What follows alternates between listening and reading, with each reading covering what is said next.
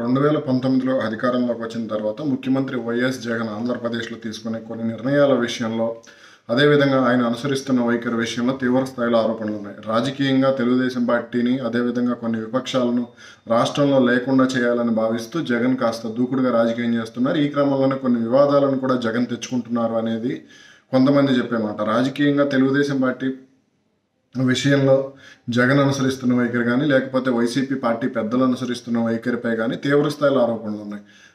తెలుగుదేశం పార్టీని చంద్రబాబు నాయుడిని ఏదో ఒక విధంగా ఇబ్బంది పెట్టాలి జైల్లో పెట్టాలి లేకపోతే పార్టీలో గట్టిగా మాట్లాడే వాళ్ళని ఇబ్బంది పెట్టాలి లేకపోతే తాము అనుకున్నది సాధించుకోవాలంటూ కూడా జగన్ దూకుడుగా వెళ్ళారు. ఈ క్రమంలోనే ఎన్నికల నిర్ ఎన్నికల నిర్వహణ విషయంలో కూడా రాష్ట్ర ప్రభుత్వం అతిగా తలదూర్చింది అనే అభిప్రాయాలు కూడా చాలా వరకు వ్యక్తమయ్యాయి.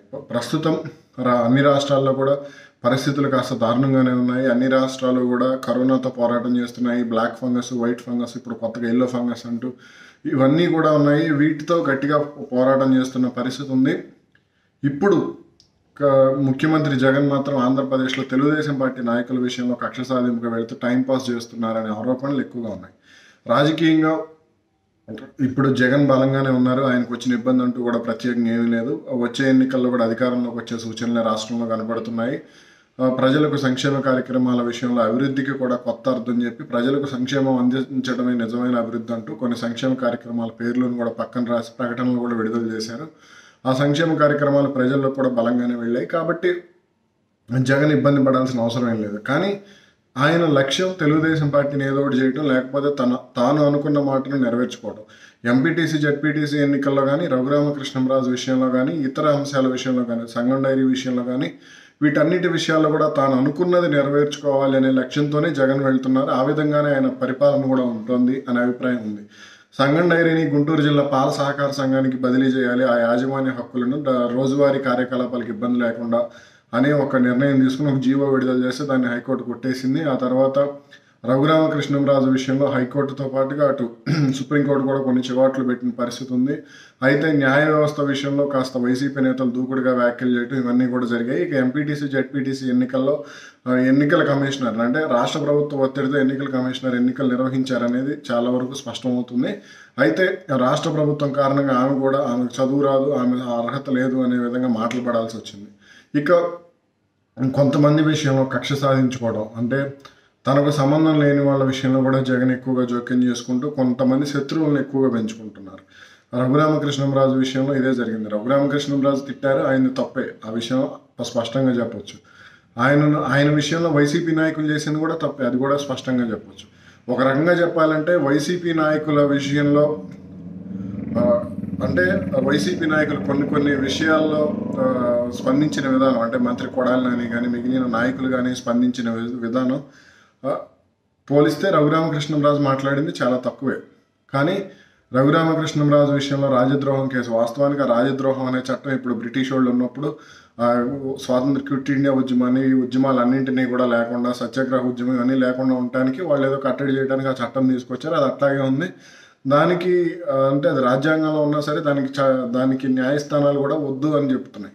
కానీ దాన్ని కూడా పెట్టారు. ఆ విషయంలో కూడా తీవ్ర స్థాయిలో భిన్నాభిప్రాయాలు వచ్చాయి. ఇక కేంద్రం కూడా ఇప్పుడు సీరియస్ అవుతుంది. ఇన్ని రోజులు సానుకూలంగా ఉన్న కేంద్రం రాష్ట్రంలో ఇన్ని అరాచకాలు జరుగుతున్నాయి అనే అభిప్రాయానికి వచ్చింది. ఎందుకంటే న్యాయస్థానాలు చేస్తున్న వ్యాఖ్యలు రఘురామకృష్ణంరాజు విషయంలో థర్డ్ డిగ్రీ జరిగింది అనే అభిప్రాయాన్ని దాదాపుగా సుప్రీంకోర్టు కూడా వ్యక్తం చేసింది. ప్రాథమిక అంచనాకు వచ్చామని చెప్పింది. అలాగే కొంతమంది తెలుగుదేశం పార్టీ నాయకుల విషయంలో అనుసరిస్తున్న వైఖరి ప్రధానంగా సంగం డైరీ విషయంలో. సంగం డైరీ అనేది ఇప్పుడు గుంటూరు జిల్లాలో కాస్త ఆత్మగౌరవం కూడా ఆత్మగౌరవంగా కూడా చెప్పుకుంటూ ఉంటారు. ఎందుకంటే అక్కడ ఉన్న ప్రతి ఒక్కళ్ళు కూడా తెలుగుదేశం పార్టీని వ్యతిరేకించే వాళ్ళు కూడా సంగం డైరీ పాల మీద ఒక నమ్మకం ఉంది. వాళ్ళందరూ కూడా పాలు పోసే వాళ్ళు కూడా సంగం డైరీకే పోస్తూ ఉంటారు.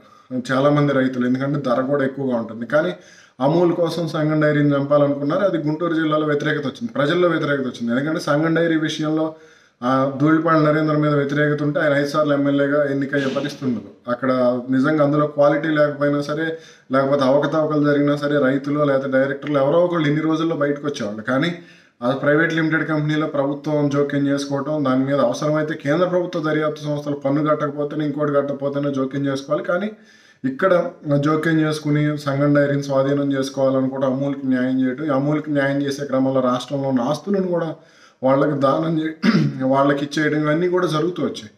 అదంతా కూడా కరెక్ట్ కాదనే అభిప్రాయం ఉంది. కాబట్టి ఇప్పుడు ఆలోచించుకునే విషయంలో అంటే కొంచెం నిర్ణయాలు తీసుకునే విషయంలో సమయం పాటించాలి. ముఖ్యమంత్రి హోదాలో ఉన్నారు కాబట్టి అనవసర వివాదాలు వద్దు. కోర్టులతో వద్దు వ్యక్తులతో వద్దు. నిమ్మగడ్డ రమేష్ కుమార్ విషయంలో వివాదాస్పదంగా వెళ్ళి కులాన్ని కూడా దూరం చేసుకున్నారనే అభిప్రాయం ఉంది. అందుకే కమ్మ సామాజిక వర్గాన్ని టార్గెట్ చేశారు. అక్కడ వాళ్ళకి కోపం వచ్చింది. క్షత్రియుల విషయం అంటే రఘురామకృష్ణరాజుని క్షత్రియ సామాజిక వర్గంతో స- ఆ సామాజిక వర్గానికి చెందిన వాళ్ళతో తిట్టించారు. వాళ్ళ కోపం వచ్చింది. ఇక కాపుల విషయంలో పవన్ కళ్యాణ్ విషయంలో చేసిన అనుచిత వ్యాఖ్యలు కూడా కాపులను కాస్త హట్ చేశాయి. కాబట్టి అవన్నీ కూడా జగన్ ఆలోచించుకోవాల్సిన అవసరం ఉంది. అనవసరంగా శత్రువులను పెంచుకోవడం అనేది ఆయన రాజకీయ భవిష్యత్తును ఇబ్బంది పెడుతోంది.